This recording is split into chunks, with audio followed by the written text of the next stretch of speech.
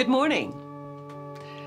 I want to welcome you all, especially those of you who are new to.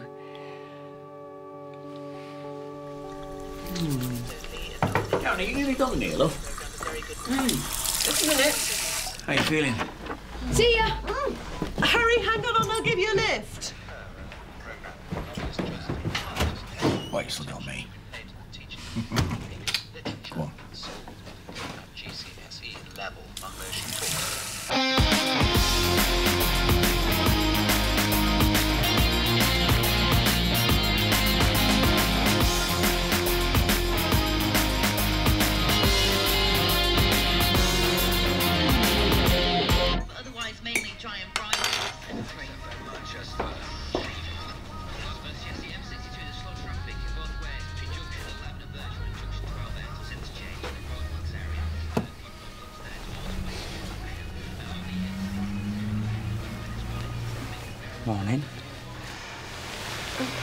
made you a coffee. I thought you might need one. You're not going back to bed. I wish. I like the way you touch me there.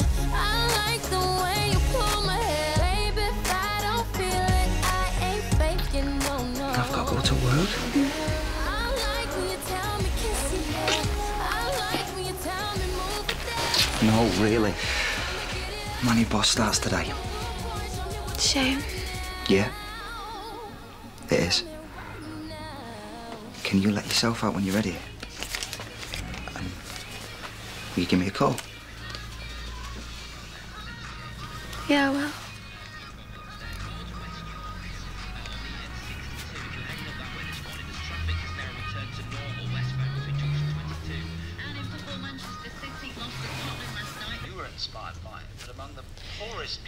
Heard anything from Jess? Yeah, she texted me. Emma's mum's gonna drop her off at school. At least we know where she is. Karen. Sorry, I just thought it might be nice if one of my children was around to offer me some support. My first day back. I thought we were trying to get things back to normal. And your point is? And what's more normal than a kid treating us with contempt?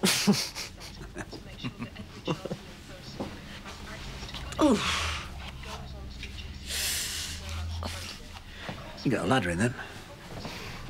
Oh, sod it.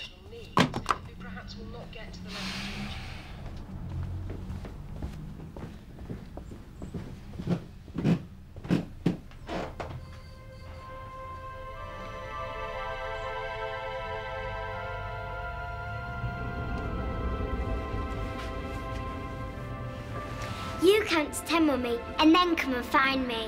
One, two, three. right, I'm off. Charlie? Hmm? I'm going.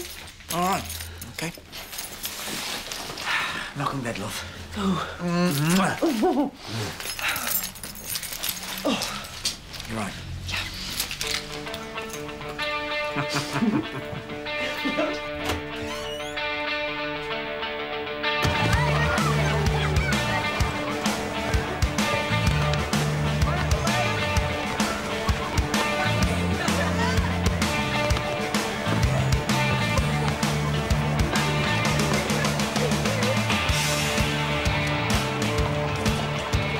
So you've been press ganged into the welcoming committee too. Uh, Chris just wanted a new head to see some friendly faces when she arrives.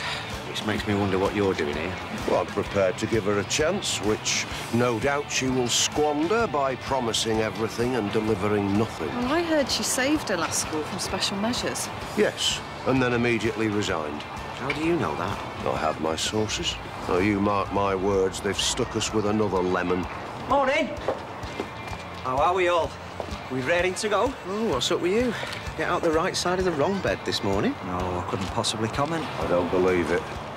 Is that who I think it is? Who on earth is that? Janeece. Mr. Clarkson, would you? Thought we'd seen the back of you. Janeece is a former inmate. Can't believe I'm back. Ace, what's the latest? I want all the goss. What have you been up to? Just sort of happened. Hey, I've got a new job. I'm the new school secretary. God help us. Well, this day just gets better and better. Put your tongue back in, Tom. That's our new head of Spanish that you're dribbling over. Hola. Does she have a name? Cheska. Cheska Montoya. Cheska Montoya.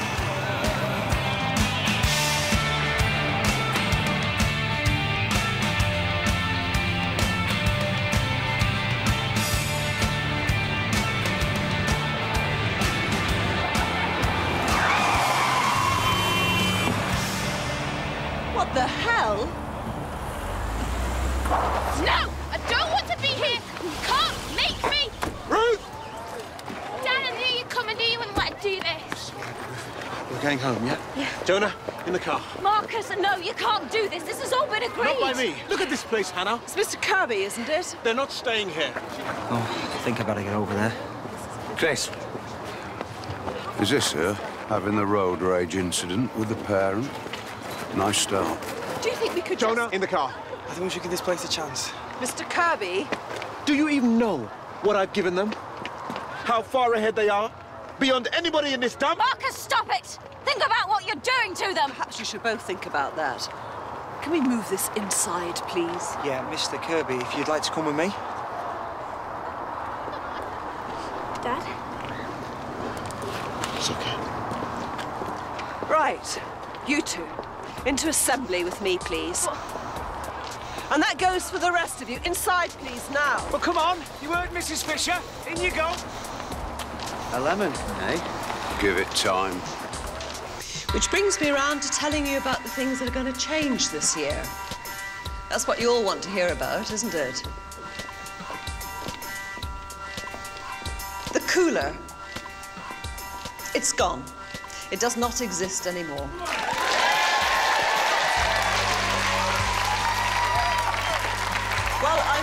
You all approve of that, but perhaps I should point out that in future, all troublemakers will be sent to me. Because if you're causing trouble in my school, I want to know why, and you will explain yourselves to me. Not that there is ever any excuse for violent, disruptive, or disrespectful behaviour. No excuse whatsoever. Which is why there is another new rule. Three strikes and you are out. The first time you are violent, disruptive, or disrespectful, you'll be suspended from school for two weeks. The second time, you'll be suspended for three weeks. And if you are stupid enough to do it a third time, you'll no longer be welcome at my school. So I hope I've made myself perfectly clear, and I'm sure it won't stop us having an enjoyable term at Waterloo Road. Does anyone have any questions?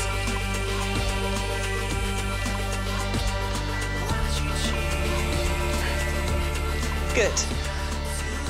Then let's make a start.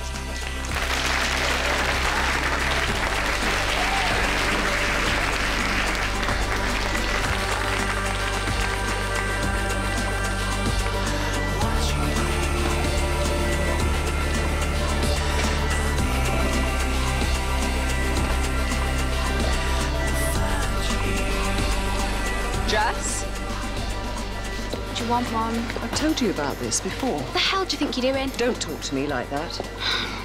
Why didn't you come home this morning? Because I didn't want to. It's not about what you want, is it? I need to know where you were last night. I sent Dad a text message, all right? That's not good enough. I honestly don't see what your problem is. Angela's mum said that. Angela, you were at Angela's last night, were you? Yeah. Okay, so can you just leave me alone, please? We'll talk about this later. Whatever. Nice shoes, yeah.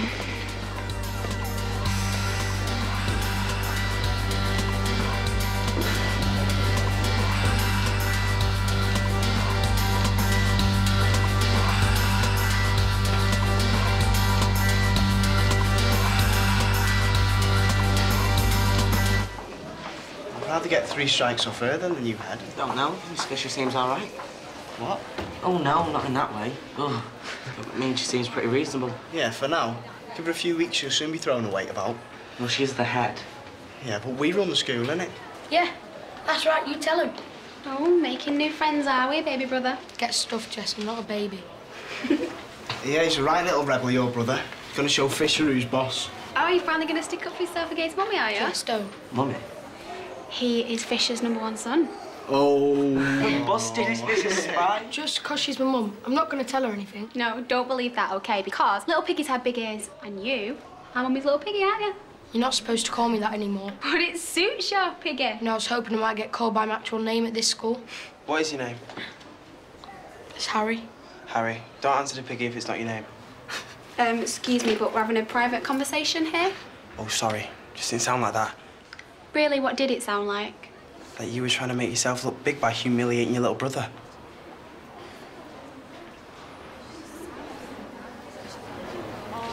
Speechless. Didn't think I'd see that. Right. First lesson, English literature. What about you? I've got Spanish. Oh, you'll be all right. Just don't be too much like Ruth. Gee, thanks. I'll see you at lunch. Right. In you go. Quietly.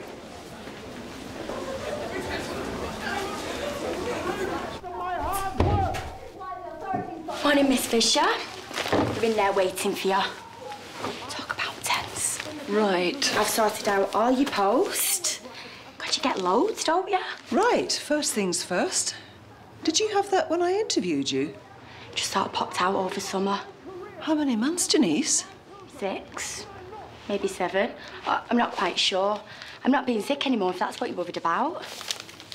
Now listen, all of this stuff needs editing, okay? Anything from the LEA, Department of Education, new guidelines, all needs to go in the round file. Round file? And everything else I'll deal with eventually. It's your job to sort out that crap so I can get on with my own job, okay? You're my gatekeeper. Got it? Don't worry, Miss Fisher. Your gate is now shut. You ready? Yeah. Right, no calls while we deal with this. I'm doing five years of my hard work. Why does everything have to be about you? It's not. But you know what this is really about. Well, why don't you take a seat, Mr. Kirby, and enlighten us? The educational system in this country fails children like mine. For the last five years, I've been teaching my children one to one with great success. Success. They have no friends except each other. They know nothing but textbooks and exams. Their focus. They're hothouse flowers. Well, this is clearly old territory for both of you. So why don't we find a way to move this forward? Well, that's what I'm trying to do. Let my children develop. Let them grow. There are things that they need to learn that you can't teach them at the kitchen table. Ruth has an IQ of someone twice her age.